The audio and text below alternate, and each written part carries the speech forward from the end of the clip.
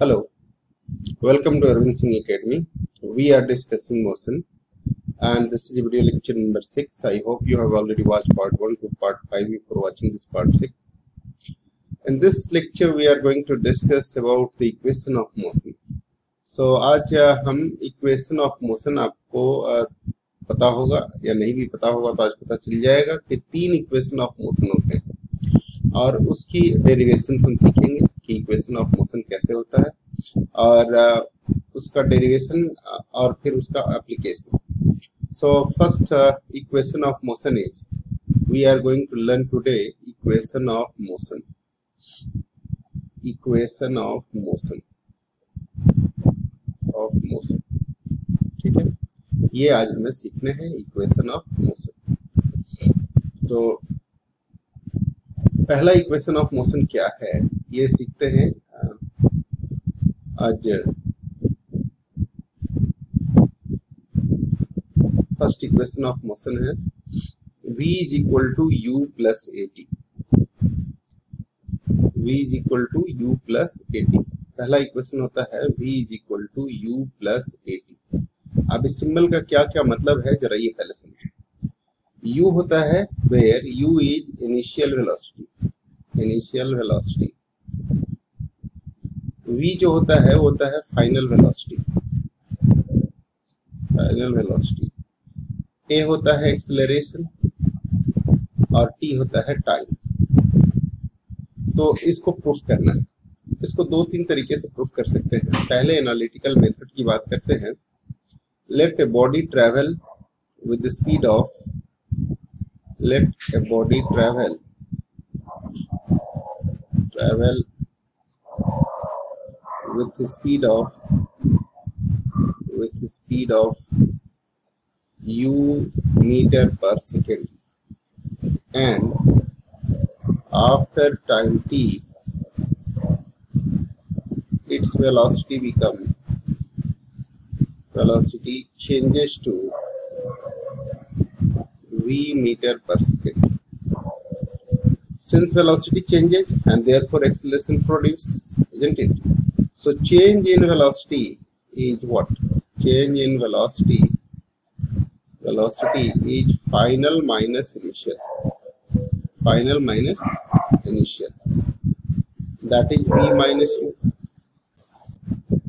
So let us see this is a change in velocity is v minus u and change in velocity is final minus initial u but rate of change of velocity ये हम लिख चुके थे video आया नहीं था आ, इसलिए दोबारा बोल दे रहे। हैं rate of change of velocity is what ये टी टाइम में अगर इतना वेलोसिटी चेंज हो रहा है तो यूनिट टाइम में कितना होगा? तो टी टाइम में अगर वी माइनस यू है तो वन टाइम में क्या होगा? यूनिट टाइम में क्या होगा? V minus u by t और यही यूनिट टाइम में जो वेलोसिटी चेंज हुआ उसको हम क्या कहेंगे? उसको कहेंगे v minus u by t time rate of change of velocity ये हो गया। और rate of change of velocity या time rate of change of velocity को क्या कहते हैं? That is called acceleration that what we know we have learn already so therefore a is equal to कितना हो गया? V minus u by t a is v minus u by t है ना? अच्छा। अब इसका मतलब t इधर जाके मल्टीप्लाई हो जाएगा तो ए टी हो जाएगा।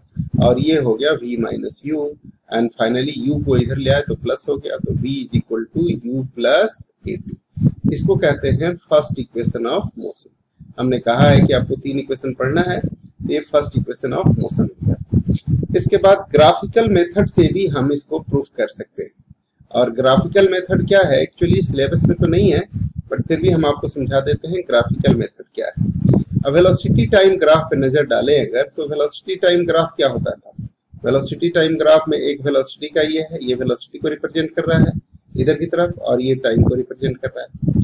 तो मान लीजिए कि पहले इनिशियल वेलोसिटी ये टाइम है, ये टाइम इधर की तरफ़ है वेलोसिटी ऊपर की तरफ़ है, ये है हमारा ओरिजिन यानी initial reference point of reference यहाँ से टाइम इधर इंक्रीज करना शुरू हुआ, यहाँ से वेलोसिटी इंक्रीज होता है। इनिशियली जब आपने ऑब्ज़र्व शुरू किया, जब टाइम ज़ीरो था, तब उसकी इनिशियल वेलोसिटी यू थी। टी टाइम बाद जब यहाँ से यहाँ तक टाइम टी हो गया, तब आपने देखा उसकी वेलोसिटी बढ़ के कितनी हो गई है? उसकी वेलोसिटी बढ़ के हो गई है वी है ना? ये भी हो गई, उसकी वेलोसिटी बढ़ गई तो चेंज इन वेलोसिटी कितना हुआ? तो यहाँ से यहाँ तक वेलोसिटी ये भी है पूरा तो ये भी भी होगा। और यहाँ से यहाँ तक की वेलोसिटी यू है तो ये यू होगा। तो बीच वाली वेलोसिटी कितनी होगी? बीच वाली वेलोसिटी हो गई v minus u v minus u so so, ये वेलोसिटी हो गई v माइनस यू और ये टाइम चूँकि यहाँ पे t था तो ये भी t हो गया। अब ये t टाइम है। स्लोप कैसे निकालते हैं? वैसे टेन थीटा से निकालते हैं जो opposite side upon adjacent side होता है। लेकिन आप नाइन्थ क्लास के बच्चे अभी टेन साइन सीखा नहीं होगा।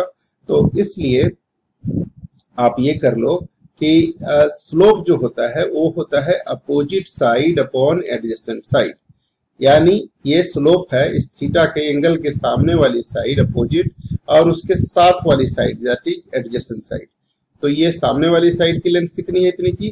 V minus u v minus u लिख दिया। और साथ वाला कितना है? टी तो ये टी हो गया। इस स्लोप को हम किससे रिप्रेजेंट कर स्लोप क्या देता है वेलोसिटी टाइम ग्राफ में? वेलोसिटी टाइम ग्राफ में स्लोप जो होता है, वो देता है एक्सेलरेशन ये बात हम पहले बता चुके हैं पिछले क्लास में। तो ये हो गया acceleration is equal to v minus u by t t इधर आके मल्टीप्लाई हो गया तो हो गया ए टी और v माइनस यू इधर रह गया। U फिर इधर आके प्लस हो जाएगा तो u plus a t is equal to v तो ग्राफिकल मेथड से भी हम इसे कर सकते हैं प्रूफ कर सकते हैं। आपको प्रूफ तो नहीं करना है, आपको ये चीज़ें सीखनी इसी तरह से टोटल डिस्टेंस कितना ट्रेवल किया, इस पे इक्वेशन ऑफ़ सेकेंड मोशन ये देखिए equation of motion second equation of motion s is equal to u t plus half a t square ये ठीक है ना?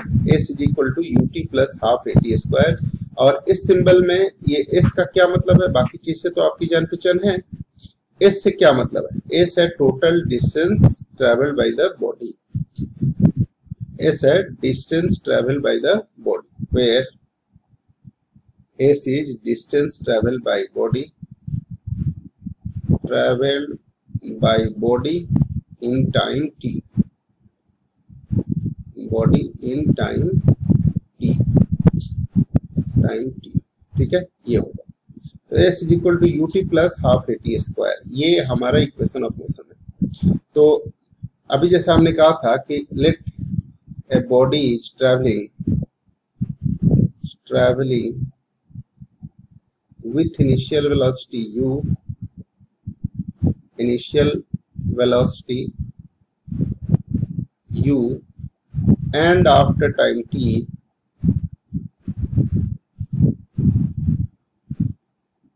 its velocity become velocity become v. right? V is a final velocity, u is initial velocity.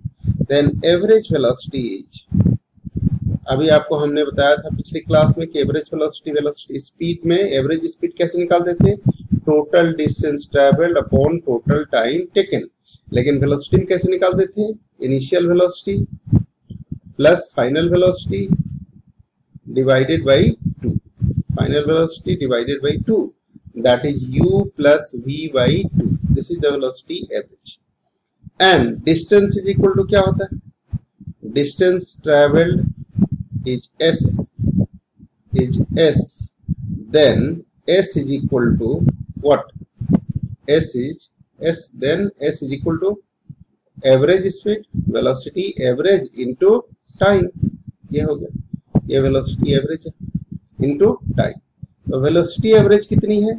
u plus v by 2 therefore, s is equal to u plus v by 2 into time t. But equation of first motion से हम क्या सीख सकते हैं? कि v is equal to होता है u plus a t u plus a t चूँकि हमें जो प्रूफ करना है, ये जो इक्वेशन है, इसमें v कहीं है ही नहीं। तो v को भगाना पड़ेगा। और v के जगह पर क्या लिख सकते हैं? u plus a t v के जगह पर हम लिख सकते हैं यू प्लस एटी तो हमने लिख दिया यहाँ पे v की जगह पे u प्लस एटी तो u प्लस इस v के जगह पे लिख दिया u plus a t and whole divided by two multiply by t and what it comes u plus u is two u plus a t into t divided by two and that comes to u by two plus a t by two and बाहर में T है multiply तो इस t से multiply हो जाएगा है ना? सो so, क्या हो जाएगा? टू से टू कैंसिल और ये हो गया यू टी यू में टी से मल्टीप्लाई हुआ u t plus a t एक पहले से एक टी और मल्टीप्लाई करेंगे तो ए टी स्क्वायर हो जाएगा और ये टू इधर डिवाइड है तो इसको हाफ़ लिख सकते हैं। तो ये आ गया s is equal to u t plus half a t square so this is another equation of motion और इस इक्वेशन ऑफ़ मोशन को भी आपको याद रखना चाहिए है ना?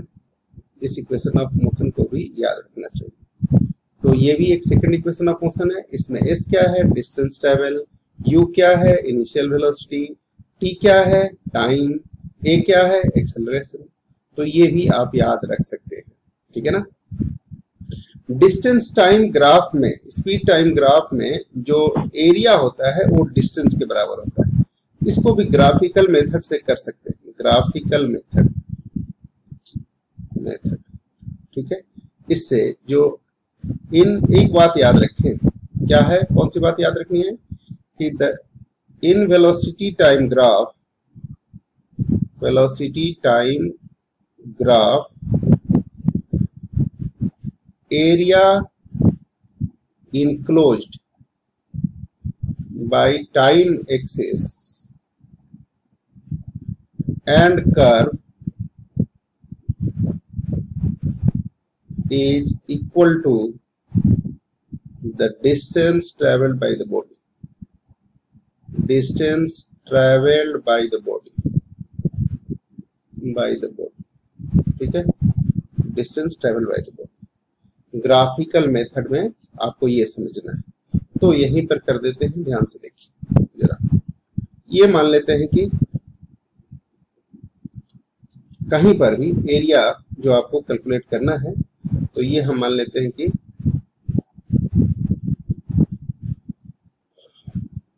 ये कोई पार्टिकल है, जो यहाँ से चल रहा है, इसकी इनिशियल वेलोसिटी कितनी है? U. ये है इनिशियल वेलोसिटी और ये है फाइनल वेलोसिटी मान लेते हैं, है ना? ये फाइनल वेलोसिटी भी है। अब ये कितना एरिया कवर कर रहा है एक्स एक्सिस के साथ? ये देखिए तो ये एरिया टाइम एक्सिस के साथ इतना कवर करेगा, है ना? इतना कवर करेगा इस टाइम एक्सिस के साथ एरिया तो आप ये समझ सकते हैं कि ये एरिया कवर करेगा, है ना? ये एरिया पूरा जो है कवर करेगा। ये यहाँ पर कितना था? यहाँ पे वेलोसिटी थी u और यहाँ पर वेलोसिटी हो गई है v और टाइम लगा है यहाँ से यहाँ तक t का, है ना? तो अब इसको एरिया को आपको निकालना है। तो इस एरिया को पूरे एरिया को निकालना है तो ये कोई फिगर पेंटागन टाइप दिख रहा है। एक दो तीन चार चार ही दिख रहा है लेकिन इसका एरिया या तो आप निकाल सकते हो ट्रेपीजियम टाइप दो साइड पैरेलल है।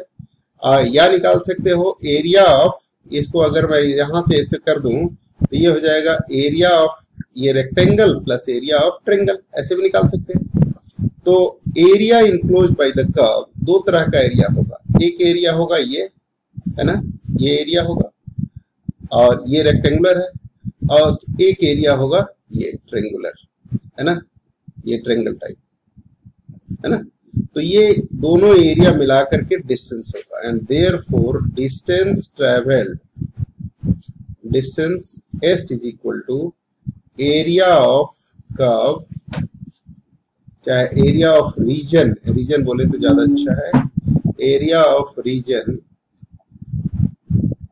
region enclosed between ये O A B C D enclosed by O A B C D area of a rectangle a rectangle plus area of triangle है ना? ट्रेंगल कौन सा? A C B area of rectangle क्या होता है? Base into height और base क्या है? ये क्या है? यू और ये क्या है? टी तो u into t u t हो गया। एरिया ऑफ़ ट्रेंगल क्या होता है? Half into base into height base क्या है? टी और हाइट क्या है? यहाँ से यहाँ तक। ये कितना होता है? V माइनस यू अभी आपने पीछे सीखा था इतना।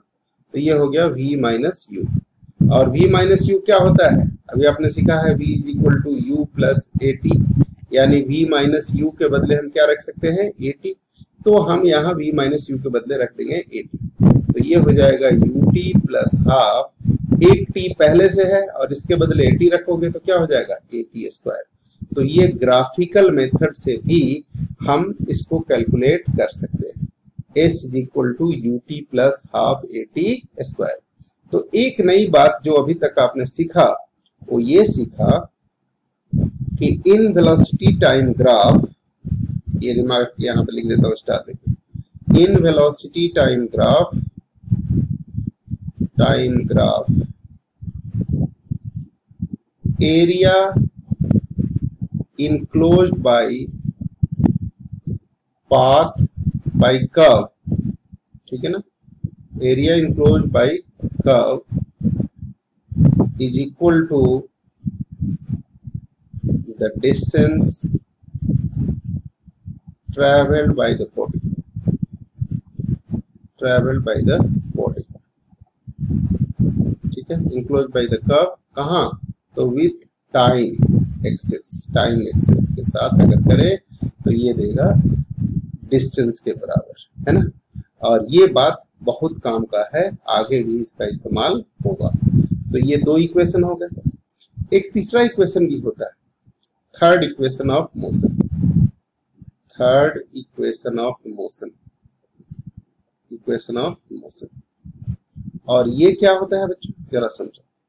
ये होता है v square is equal to u square plus two a s अब इसमें सारे सिंबल का मतलब आपको मालूम है। वी होता है फाइनल वेलोसिटी यू है इनिशियल वेलोसिटी ए है एक्सेलरेशन और एस है डिस्टेंस इसको प्रूफ करना है, अगर हमें तो हम जानते हैं वी नो ये उन्हीं दोनों का मिला जुला फॉर्म है, एक को दूसरे को सब्सिट्यूट करना है। तो वी नो क्या जानते हैं कि v is equal to u plus a t इसमें t कहीं नहीं है। तो हम यहाँ पर v minus u is equal to a t लिख सकते हैं। और t के बदले v minus u by a लिख सकते हैं।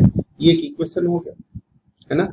दूसरा इक्वेशन हमारा अभी तक हमने सीखा है s equal to u t plus half a t square इसमें टी है नहीं तो ये टी की वैल्यू यहाँ पर रख देते हैं। तो टी की वैल्यू यहाँ पे रख देंगे तो क्या हो जाएगा बताओ?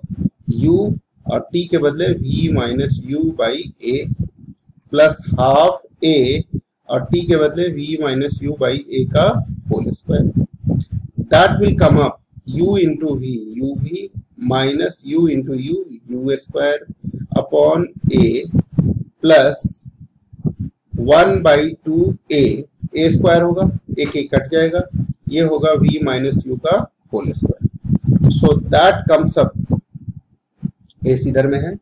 एस इज़ इक्वल टू ये एल्सियम टू ए और ए का एल्सियम हो जाएगा टू ए। ये टू से इधर ए से टू ए में डिवाइड करेंगे तो टू आएगा, टू से ये मल्टीप्लाई हो जाएगा। टू यू भी minus two u square plus v minus u का होल स्क्वायर क्या होगा? V square plus u square minus two u भी होगा ऐसा। ये टू यू बी पॉजिटिव है, ये टू यू बी निगेटिव है तो ये दोनों कैंसिल हो जाएँगे। और बच गया ऊपर में v square u square minus two u square is minus u square और टू ए इधर आके क्या हो गया? मल्टीप्लाई तो टू ए एस हो गया यू स्क्वायर इधर आके प्लस हो गया तो u square plus two a s is equal to v square यही हमारा कहलाता है थर्ड इक्वेशन ऑफ़ मोशन क्या है ये? V square is equal to u square plus two a s इसमें सबका मतलब क्या है? वो आपको पता है। पता है ना? ये सबका मतलब क्या है? ठीक है? Where u is initial velocity initial velocity v is final velocity final velocity and s is distance travel travel और a is acceleration ठीक है ये इन केस अगर रिटार्डेशन होगा तो ये when acceleration is negative when negative acceleration negative acceleration then a will be negative in that case formula will be what? V is equal to u minus at s is equal to ut minus half at square. And v square is equal to u square minus 2as ये तब होगा जब क्या होगा? Retardation होगा। Negative acceleration का मतलब retardation यानी वेलोसिटी डिक्रीज कर रहा हो। Velocity is decreasing is decreases decreases ऐसा होगा तो ऐसा होगा। जब बॉडी रेस्ट से स्टार्ट करे body starts from rest, when a body starts from rest तो ऐसी स्थिति में u क्या हो जाता है? ज़ीरो तब ये फॉर्मूला कुछ इस तरह का हो जाएगा कि v is equal to u plus a t और यू हो गया ज़ीरो तो सिर्फ़ a t v is equal to a t s is equal to half a t square और हो जाएगा v square is equal to two g सब में यू को हमने क्या रख दिया है? ज़ीरो तो ये तीन इक्वेशन ऑफ़ मोशन ऐसे हो जाएँगे। ये सब आपको समझ में आ गया अच्छी तरह से तो इसमें कोई दिक्कत नहीं होगी। आप इसको अच्छी तरह से समझ लीजिए, खूब अच्छे से याद कर लीजिए, और याद करने के बाद अब इस पे अगली क्लास में हम लोग न्यूमेरिकल करेंगे, ठीक है ना? नेक्स्ट क्लास में हम लोग इस पे न्यूमेरिकल करेंगे। अभी फ़िलहाल इसको अच्छी तरह से रिवाइज कर लीजिए स्कूल में पूछा जा सकता है। दो तीन बार इसको आप लिख के खुद कोशिश कर ले, समझ लें हर एक चीज़ों को। फिर आगे जैसे ही न्यूमेरिकल आएगा तो उसको सॉल्व करने में सहूलियत एक बात और कह सकते हैं, जब कोई बॉडी ऊपर से नीचे की ओर गिर रहा है तो ए को जी से रिप्लेस कर देते हैं। तब एक्सलरेशन जो होती है, वो ड्यू टू ग्रेविटी होती है। तो उसको हम कहते हैं एक्सलेशन ड्यू टू ग्रेविटी और तब हम ए के बदले जी से रिप्लेस कर देते हैं। तो ऊपर से अगर नीचे आता है तो अर्थ के अट्रैक्शन जो हो रही है, वो अर्थ के डायरेक्शन में हो रही है, फोर्स के डायरेक्शन में हो रही है तो वेलोसिटी बढ़ रहा है। तो जी को हम पॉजिटिव लेते हैं और जब नीचे से कोई चीज़ ऊपर फेंकते हैं तो जी को निगेटिव लेते हैं। तो जब कोई ऊपर से बॉडी नीचे गिरता है तो उसको फ्री फॉलिंग अंडर ग्रेविटी कहते हैं। When a body is falling under gravity gravity कहीं लिखा हो क्वेश्चन में तो replace a by g a by g g को कहते हैं acceleration due to gravity acceleration due to gravity and then equation of motion हो जाएगा s is equal to u t plus half g t square v is equal to u plus g t and s is equal to v square is equal to u square plus two g h s को s से replace कर देते हैं। ये सब तब होगा। अगर फ्रीली फॉलिंग अंडर ग्रेविटी है तो इनिशियल वेलोसिटी ज़ीरो होता है। अगर body freely falling under gravity है तो उसकी इनिशियल वेलोसिटी हम क्या मान लेंगे? ज़ीरो जैसे जस्ट ड्रॉप किया। तो फ्रीली फॉलिंग अंडर ग्रेविटी में इनिशियल वेलोसिटी क्या मान लेते हैं? ज़ीरो और ऐसी स्थिति में अगर यू ज़ीरो होगा तो एस को हम एच से रिप्लेस कर देंगे। डिस्टेंस जो है वो बेसिकली क्या होता है? हाइट होता है डिस्टेंस तो एच इज़ इक्वल टू लिखते हैं। तब हम लिख सकते हैं when u is equal to zero that is initial velocity zero initial velocity is zero in that case what to do h is equal to half g t square and v is equal to gt and v square is equal to 2gh that is the formula which is applicable and you can use this formula uh, with uh, without any hesitation ठीक है ना ऐसे हम इस्तेमाल कर सकते हैं क्या क्या रिप्लेस किया है s को रिप्लेस कर दिया s replaced by s distance है जब ऊपर से नीचे गिरेगा तो s replace by h h stand for height ठीक है अच्छा और बाकी ए को किससे रिप्लेस कर दिया? A replace by g acceleration due to gravity जब नीचे से कोई चीज़ ऊपर फेंकी जाए when a body is vertically thrown body is vertically thrown upward vertically thrown upward तब क्या होगा? ऊपर से फेंके तो g is negative G is taken negative. Negative. Then, H is equal to ut minus half gt square. ये formula होगा. And v square is equal to u square minus two g h और v is equal to u minus g t ये expression आपको याद रखना होगा. तो ये भी एक काम का चीज़ है. इसको भी याद रखें कि जब नीचे से ऊपर की ओर फेंका जाएगा तो ऐसी स्थिति में क्या होगा? ऐसी स्थिति में जी जो होगा वो निगेटिव होगा और बाकी सारी चीज़ें जो है एज यूजल होंगी। ठीक है ना? तो ये सब चीज़ें अगर याद रखेंगे तो न्यूमेरिकल में क्लैरिटी बहुत ज़्यादा रहेगी और आप आसानी से सॉल्व कर पाएँगे। नीचे से ऊपर की ओर फेंका जाएगा अगर तो जी क्या लेंगे? Negative G will be is negative ध्यान रहे। और ऊपर से अगर फेंका जाए तो G is positive G positive लेते हैं ठीक है? क्योंकि स्पीड उसकी बढ़ती जाती है इंक्रीज हो रहा है। तो एक्सलेशन पॉजिटिव होगा। और नीचे से अगर ऊपर की ओर फेंक रहे हैं तो एक्सलेशन क्या होगा? निगेटिव ठीक है ना? तो इस तरीके से हम ये सारी चीज़ें याद रख सकते हैं। और ये सारी चीज़ें जैसे ही आप याद रखोगे तो अगली क्लास में जब हम न्यूमेरिकल की बात करेंगे तो आपको बहुत ही अच्छा लगेगा और फटाफट सॉल्व हो जाएगा। तो इसको याद रखोगे ना? है? हाँ, ठीक है। चलिए इसको याद कर लीजिएगा। अगली क्लास में फिर मुलाकात होती है। तो,